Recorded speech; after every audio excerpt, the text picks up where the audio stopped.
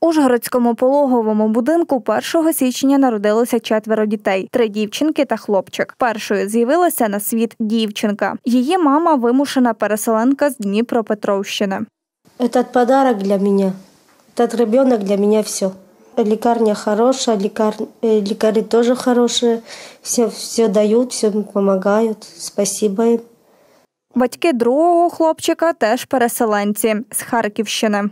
Третім родилась уж е, Тячівський район, Скарпатці вже, і четвертий теж Ужгородський район, Руських Комаровець.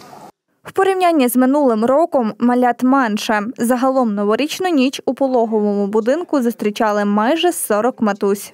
Діток я планую назвати Анна і Юлія. Вони в нас дуже довгоочікувані, так що вони в нас е, двійнятка.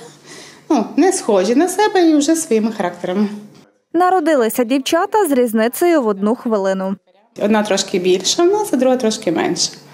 Е, З вагою 2,100 і 2,450.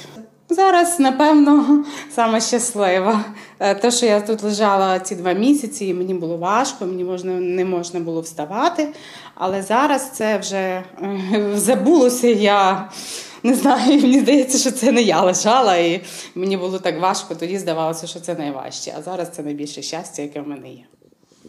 Усі народжені в новорічну ніч малята здорові та доношені. Вага від 800 до 3800.